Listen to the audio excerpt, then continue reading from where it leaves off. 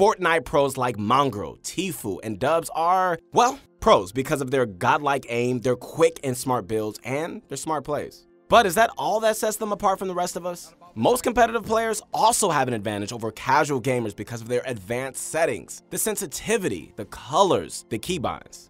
Hey, what's going on guys? This is Keith Allen Henson, and for this video, we've compiled the most advanced settings used by pros in the Fortnite scene. And we're bringing them straight to you. Unlock your true potential with these little known game settings. And thanks to InstaPro, you can talk directly with a professional Fortnite player on Pro Guides about other optimal in-game settings. Find out how you can play a match with a top player by checking out ProGuides.com. All right, yo, let's check out the top five most advanced pro settings and how you can use them in your own arena matches. First and foremost, let's check out the colorblind option. Mongraal was the first player to be seen using this setting, bringing it to the Fortnite community's attention. Nowadays, both colorblind variants, Triton and Deuteranope, give a significant advantage. It's crucial if you play competitively and even in pub games. It's a night and day difference. That's because the other players appear to be more visible, making it easier to track them in the storm. I'm sure you've seen Fortnite streamers like Tfue fighting off players in the storm, taking those fights you wouldn't normally take, shooting into the storm and easily hitting every shot. You might have wondered, how does he attract them so effectively? Well, now you know.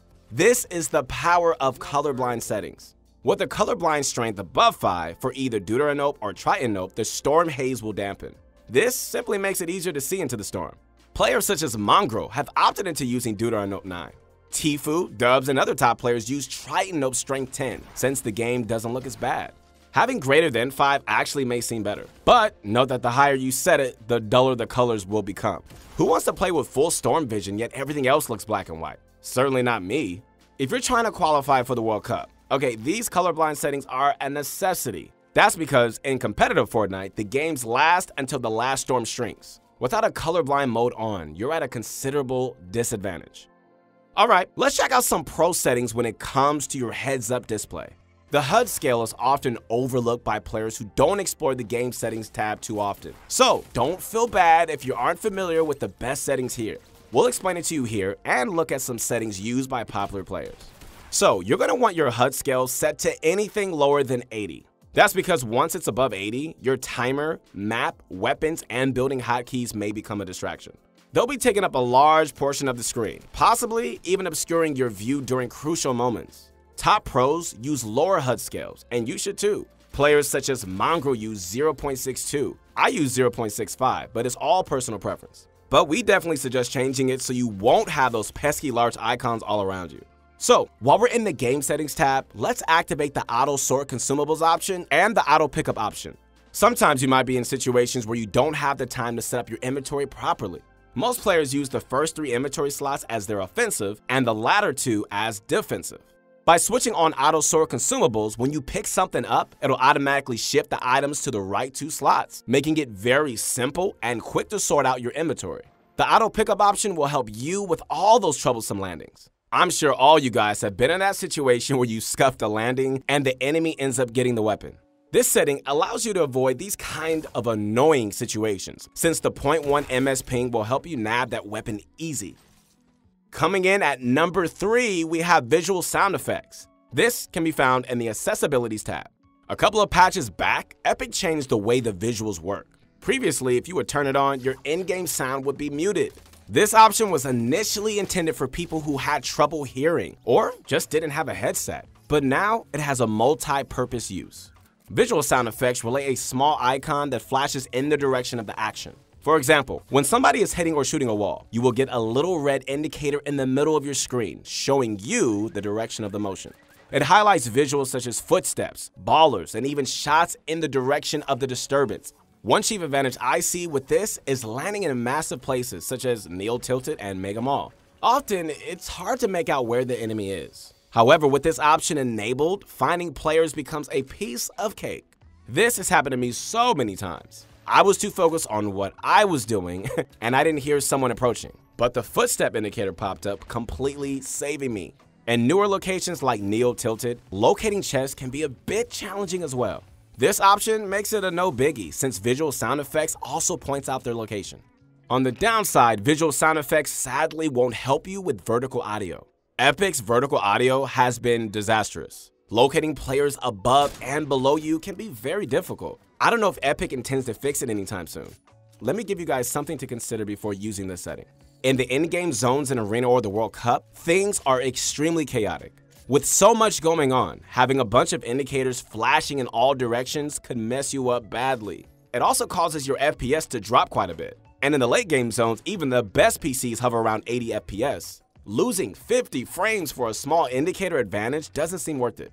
So, in a nutshell, it appears to be useful solely for casual play. If you're really outstanding and fast, you could use it until late game and then turn it off. Let us know how that one worked for you. If that last tip didn't cut it for you, then maybe this one will. One that apparently every top player uses. It's called the scroll wheel edit trick. The goal of this method is that instead of scrambling to reset your builds the default way, you can have a quicker method to reset them. This trick is not new and has been around for quite some time, but I notice many people are still not using it. Trust me when I say it is definitely worth the few days it takes to get used to it. The simple way to do this is by changing the secondary key for the reset edit key to either mouse wheel up or down, depending on what you're comfortable with. Then go to your edit keybind and change the secondary key to the same one as the reset scroll edit keybind. This will allow you to reset your buildings by scrolling up or down twice or just one time really hard. This is hugely beneficial and will help you tremendously, particularly in scenarios when you need it the most like in-game tunneling. I use it all the time and it has saved me way too many times to count. When watching Tfue and other top players reset edits, they seem to be doing it so fast it almost looks like a blur. The difference between the default way and this one is huge. The scroll wheel reset allows you to edit so quick you can block incoming damage with ease, without thinking. There are so many ways you can use this to outplay your opponents. One obvious way is editing on your opponent, then getting a shot off and resetting the edit quickly enough to prevent incoming damage. Our next setting will allow you to solve one of the recent bugs. One notable bug is the miss pickup bug. More often than not, the item you try to pick up won't be in your inventory. This is pretty awful. But the good news is that there's a simple way around it.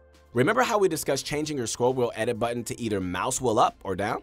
Whichever key you're using, set the use interact key as the exact opposite. If you use scroll up for your reset edit, change the use interact key to scroll down or vice versa. Then go into your settings and find tap to search interact and set it on. This will make it super easy to pick up items on the fly and you won't get stuck not picking something up. Thanks, Epic. I'll stress again, make sure you have tap to search interact key enabled or this trick won't work.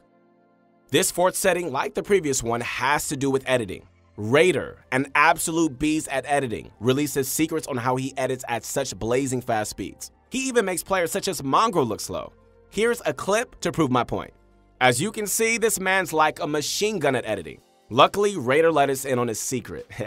he uses two different edit keys, like with the scroll wheel reset. He has the primary key edit bound to whatever key he uses, and his secondary bind is a mouse button, so in theory, instead of having to select the editing key twice when he wants to edit, he only clicks each button once. If you test this out, you'll see that you can click them so faster than before. I love the idea and I thought it'd be perfect for regular gameplay. But in practice, I ran into a few problems. The sheer amount of time and the muscle memory required for you to become used to it may actually be longer than you expect.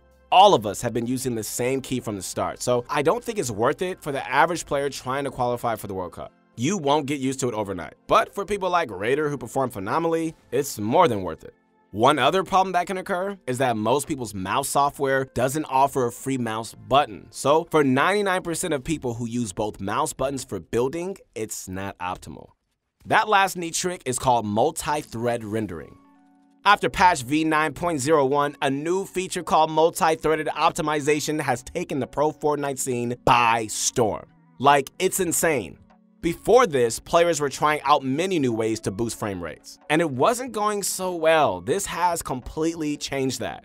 By default, this feature should be turned on in your settings since the patch, but just in case, check to make sure. So, what does multi-threaded optimization do? It allows CPUs to use more thread, whereas previously it would only default to one.